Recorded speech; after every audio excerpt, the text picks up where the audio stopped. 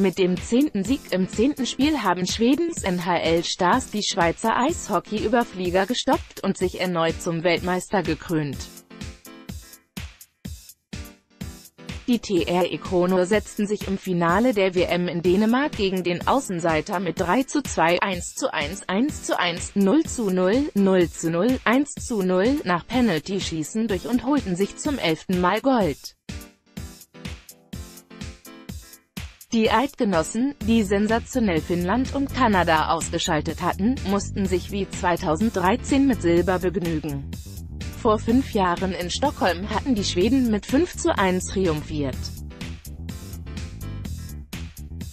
In Kopenhagen wiederholten die Skandinavier zudem den Erfolg des Vorjahres in Köln, als sie Kanada mit 2 zu 1 ebenfalls nach Penalty-Schießen besiegt hatten.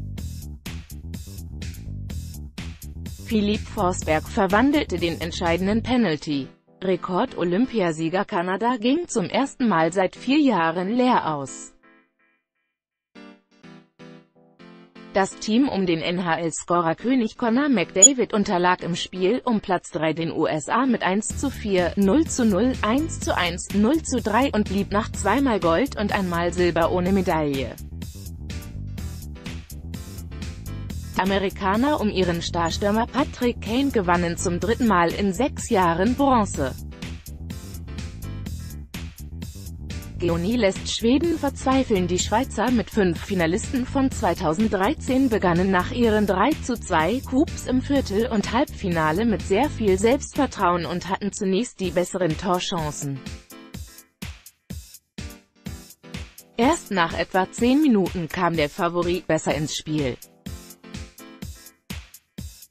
Dennoch gelang den Eidgenossen, mit acht NHL-Profis vom Boulevard zur besten Nati aller Zeiten, gekürt, durch einen Junida-Reiter vor 12.490 Zuschauern in der ausverkauften Royal Arena die Führung, 17. Gustav Nyquist glich allerdings fast postwendend aus 18. Timo Meyer nutzte im Powerplay einen Wechselfehler der Schweden zum 2 zu 1, 24. Die TR Equonor antworteten mit wütenden Angriffen und bauten enormen Druck auf Torhüter Leonardo Ginoni geriet immer mehr unter Beschuss. Beim Ausgleich durch Mika Zibanejad in Überzahl war der 30-Jährige vom SC Bern machtlos, 35. Im Schlussabschnitt setzten sich die Skandinavier immer wieder im Schweizer Drittel fest. Doch der erneut überragende Genoni brachte sie mit zahlreichen starken Paraden zur Verzweiflung und half dem Team von Trainer Patrick Fischer, vier Minuten in Unterzahl unbeschadet zu überstehen. In der Overtime hatten die Schweizer Glück, als Adam Larsson zwei Sekunden vor Schluss den Pfosten traf.